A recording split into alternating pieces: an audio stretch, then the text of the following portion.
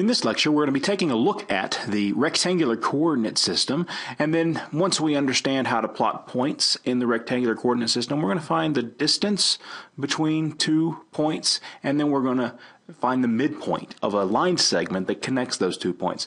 So let's first begin by refreshing our memory on what is the uh, rectangular coordinate system.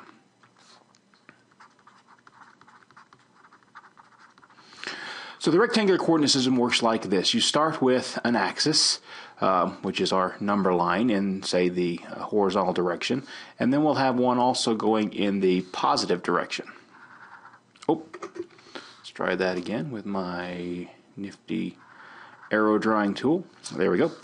And now what we're going to do is we're going to place some point out here in this space. So what we've basically done is we've applied a horizontal axis and a vertical axis. And to define the coordinates of this point in this system, we're going to drop a line straight down and we're going to mark on that axis where it crosses. And we're going to mark a line straight across and call that y. And we will demark the coordinates of this point as an ordered pair x comma y. So you'll have some numerical value from the x-axis, so that first coordinate or the first value in your ordered pair measures how far left and right you are, and then the y value measures how far up and down you are. So for an example, if you were to plot the point 1 comma 2, that would mean you would go 1 in the x direction and 2 in the y direction. So which is why we call this the x-axis, and we'll refer to this as the y axis.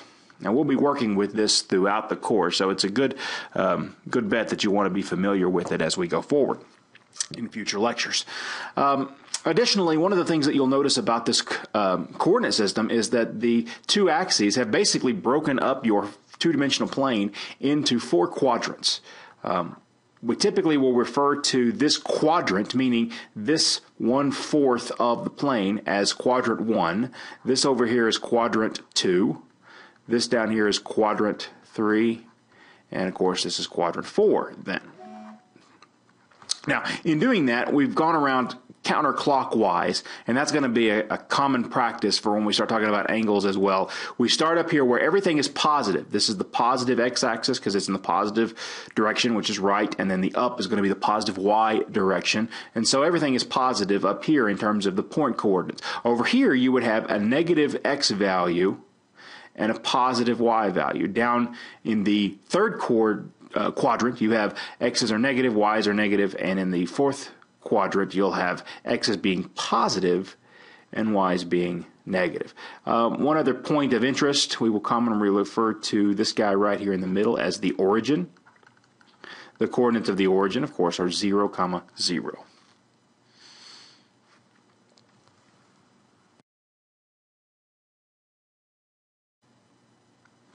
Our next question is to find what is the distance between two points. What I mean by the distance between those points is straight line distance. Imagine that you have your coordinate system that we drew up above, and we have two points out here in the plane. Okay, we'll say that the coordinates of this first point right here, let's call that x1 comma y1. And let's say that the coordinates of this point over here are x2, y2. Now those will be specific numbers in a given problem, but let's say we've got those two points and we want to find out what is the straight line distance. If I were to draw a line from here straight up to here, how long is that line? And the easiest way to figure that out is to go back to a very familiar theorem that um, you've probably covered at some point um, in your mathematical um, experience, and it's the Pythagorean theorem that relates the three sides of a right triangle together. If you drop a line straight over to the right and drop one straight down, you form a right triangle. And as we remember from our earlier math courses, that if this length of this side right here is A and the length of this side over here is B, then A squared plus B squared is equal to the length of that side, C squared. Okay, it's called the Pythagorean theorem, right?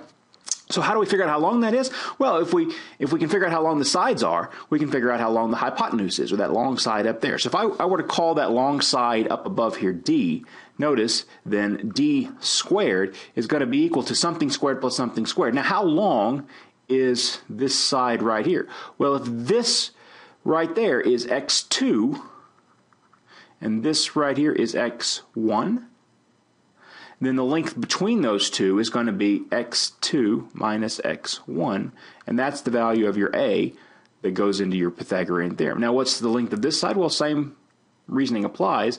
This is y1, this is y2. The length of that would be y2 minus y1, so you have a y2 minus y1 squared. Sorry, that should be y2 down here beneath there. Let me erase that real quick. So this is y2 minus y1 quantity squared. All of this is to say that we can take this now, if we take the square root of both sides, you end up with what's called the distance formula. It is the distance between any two points can be found as the square root of x2 minus x1 quantity squared plus y2 minus y1 quantity squared. All right, that's what we'll call the distance formula. So let's apply that in a particular example. So come down here, let's find the distance between the points negative 3, 2 and 6, 0. Now, you can plot these pretty quickly on your coordinate system.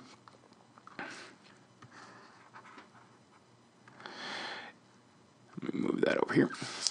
If you go and um, go to negative 3, so negative 3 over here, and then up 2, now you don't have to do this to actually find the distance since this is a nice little algebraic formula. We can actually just go apply it. But I wanted you to see where some of these numbers show up. So if I go to negative 3, 2, that is this location right here. If I go to 6, 0, 1, 2, 3, 4, 5, 6, all right, 0 is right there on that line. So we're trying to find that straight line distance right there.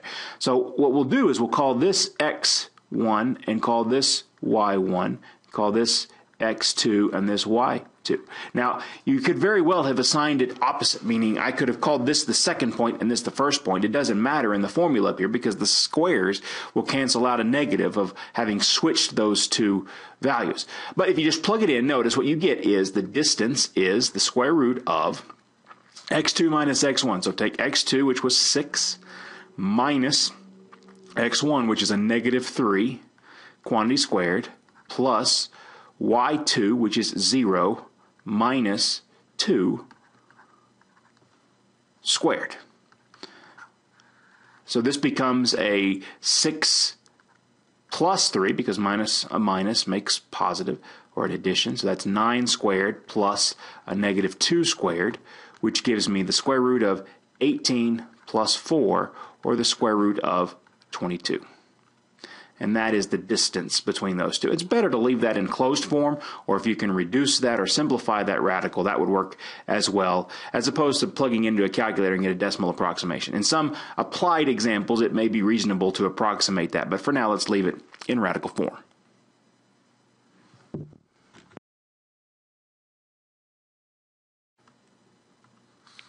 Let's take a look at this example. Consider the points a is negative 2, 1, B is 2, 3, and C is 3, 1.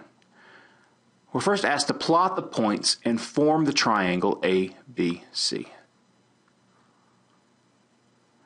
So let me grab my little coordinate drawing tool. You can just draw those with a straight edge or draw those with a line.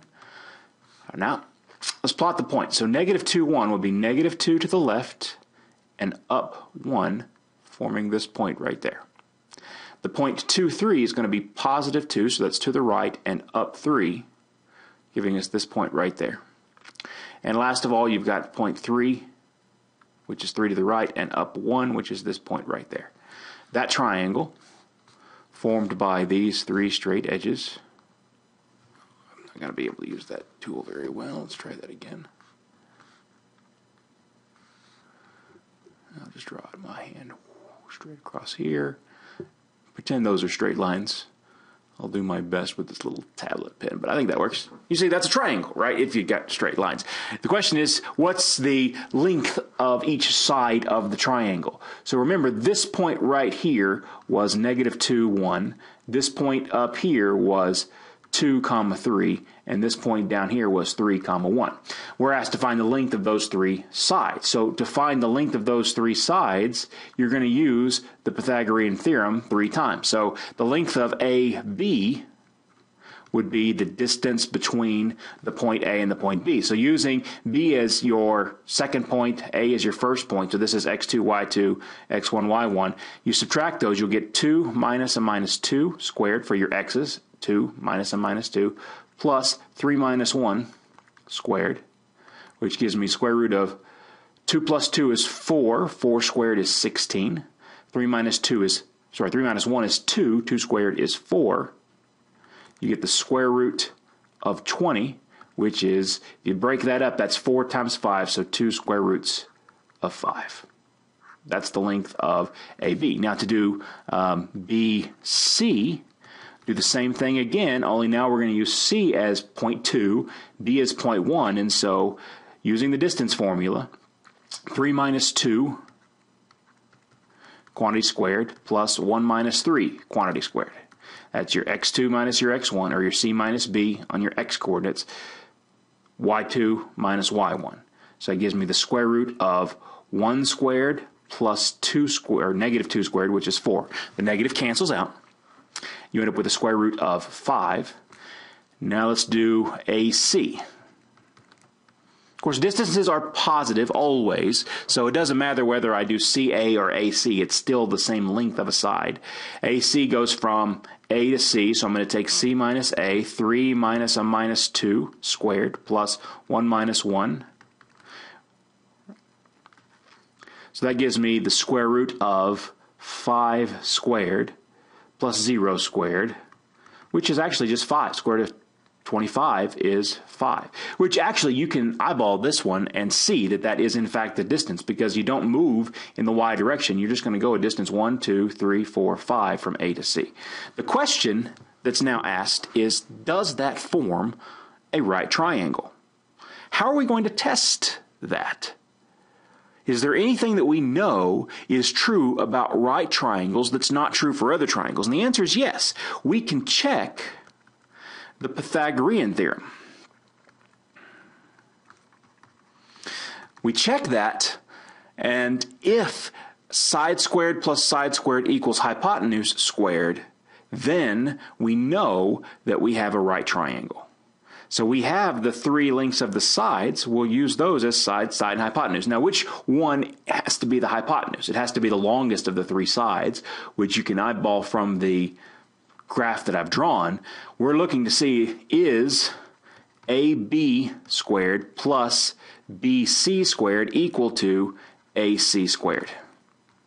If that's the case, then it's a right triangle. So let's check. What is AB? That's 2 square roots of 5. So square that plus what is BC? That is the square root of 5 squared. All right, so let's do that arithmetic. And the question is, does that equal 25? AC squared.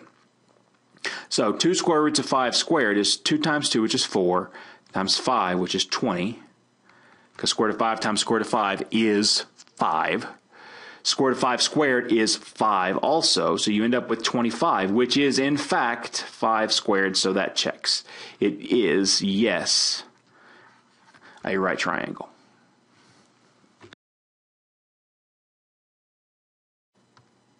One last question in this example is what's the area of the triangle that we had drawn above?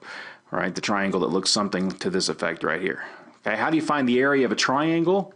Well, you have to remember from earlier courses that if you have a right triangle, if this is the base and this is the height, the area is one half base times height.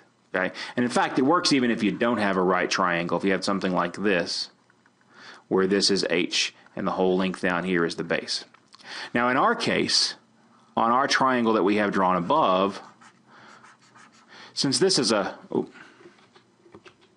right triangle like this, and this is the right angle right here, we could treat this as the base and this as the height, and then the area would be one half base. Now, what was the length of this side over here? That was, if you look at your notes, that was BC, right, which was the square root of 5.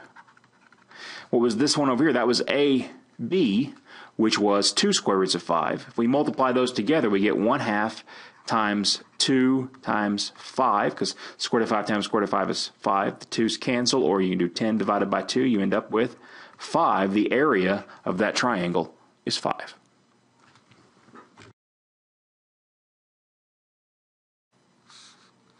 Now what I want to do is find where the midpoint of any line segment is. So as in the case before, let's say we're given two points out in the plane and we know the coordinates are x1, y1, and x2, y2. We know how to split the difference, sorry, the, we know how to find the distance between the two. Now what we want to do is, can we find where that midpoint is? What's exactly halfway in between those two? And we're going to just borrow some knowledge that we have from our previous courses. We want to find what's halfway in between two numbers. All we have to do is average those two numbers, which basically add them up and divide by two. That finds the midpoint. So to find the midpoint of two points, instead of just finding the halfway spot between two numbers, you want to do it between two points, you're going to still average, but you're just going to average the coordinates. That is, you would take x1 plus x2 and divide it by 2. That's halfway in between the x's. What's halfway in between the y's? y1 plus y2 over 2. Okay, so in this example, if point 1 here is negative 3, 2, and that's x1, y1, and point 2 is x2, y2, 6 comma 0. And then the midpoint will be negative 3 plus 6 divided by 2 and 2 plus 0 divided by 2. Just taking x1 plus x2 divided by 2, that gives me 3 halves. 6 minus 3 is 3.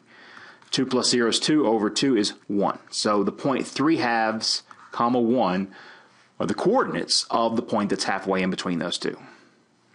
The last example I have in this section is a question regarding the medians of a triangle. If you've ever heard of a median of a triangle before, what that means is that we're going to take the line segment that connects any of our vertices or vertexes of our triangle to the midpoint of the opposite side. So each of these three lines that are coming through the middle of the triangle are called medians. Okay? It connects a vertex to the midpoint of the other line.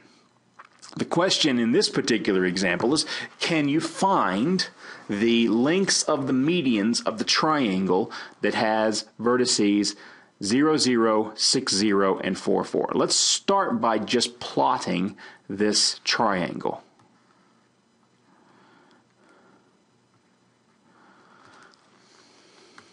So 0, 0 is here at the origin. Six zero one two do one two three four five six zero is right six up none and then four to the right and then up four. One two three four. One two three four.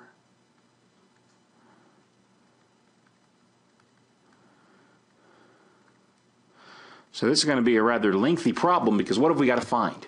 In order to find the median of any of the vertices. That is, there are three medians. So we're going to do this three times. The median length from, say, point A, which was here, this was B, this was C. Let's say I wanted to find this median right here. I've got to know what is that point right there. Well, that's going to be the midpoint of BC. Okay, so how do we find the midpoint of BC? We're going to take the coordinates of B and C, and we're going to average them. So 6 plus 4 divided by 2 and 4 plus 0 divided by 2 gives me a 5 comma 2, which actually matches fairly well with what we see on the graph. Never trust your pictures though. As you can see, I've already got some lines on here that aren't exactly straight. But we can do our best, um, but analytically, using the formulas, we've now got the midpoint. Now, what's the length of this median right here? Okay, well, the length of that one, we'll call it M1 for median. The length of M1 would be the distance from A, which is 0, 0, to 5 comma 2, which is 5 minus 0 squared plus 2 minus 0 squared. You're taking x2 minus x1 plus y2 minus y1 to get this formula, which gives me the square root of 25 plus 4, or the square root of 29. So we're one third of the way through with this problem.